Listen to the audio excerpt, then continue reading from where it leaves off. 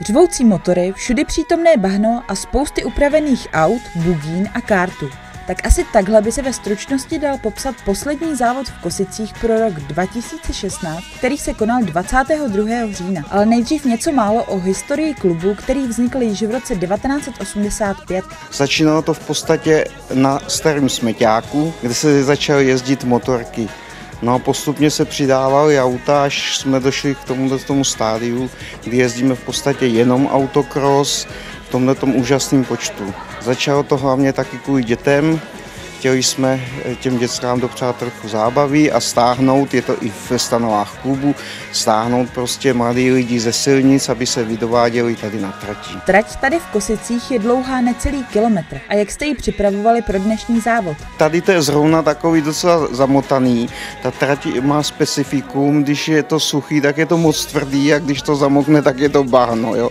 Takže tady to je taková alchymie a něco děláme svýma mašinama, něco si pronajímáme. Jaký úsek je divácky nejzajímavější? Tak určitě zajímavá je tady u věže, kdy tady ty čtyřkové bugny jezdí až 145 km za hodinu, takže to je docela mazec. Závodilo se ve 12 kategoriích a většina kategorií byla opravdu předspána závodníky. Ještě aby ne, když se jich přihlásilo 103 a to už je opravdu krásný počet. KPM Kosice má dva své klubové jezdce. A co to vlastně znamená být takovým klubovým jezdcem? Znamená to dělat pro klub daleko víc, než jenom vozit tuhle nálepku na auto autě.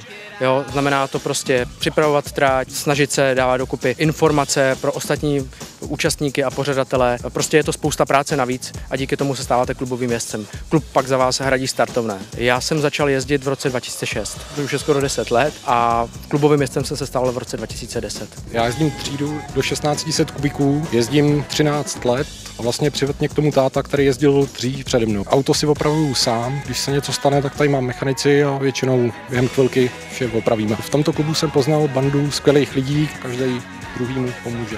A že se v Kosicích dbá jak o skvělou trať, dobrou organizaci závodu, celkovou pohodovou atmosféru, plné žaludky nebo i zdraví závodníků dokazuje i fakt, že to je přítomný rescue tým z Vrchlabí. Jsme tady jako zaintegrovaný záchranný systém Královéhradeckého kraje. Pomáháme soukromým autokrosům v záchraně lidských životů. Jakmile se stane nějaká dopravní nehoda, tak tomu přijet, zajistit první zdraví závodníka. Buďte řidič je bezvědomý, malátný nebo může mluvit nebo může se pohybovat, tak ho dostáváme ven. Co všechno máte s sebou pro záchranu životů závodníků? V autě je kompletně vyprošťovací zařízení, to znamená hydraulické kleště, hydraulický rozpínák, eh, deval, to znamená elektrická pilka, kterou se nechá rozdělit kompletně vozidlo, pak tam je ambulák, to znamená nadechání, kufr rychlé pomoci, pak máme speciální krční límec udělaný, protože jsou závodníci, které má Hanzi, a ten Hans někdy v autě někdo sundá, tak tam používám za takový zvláštní vykrčný límec, který mu dáváme, potom sundáváme přilbu.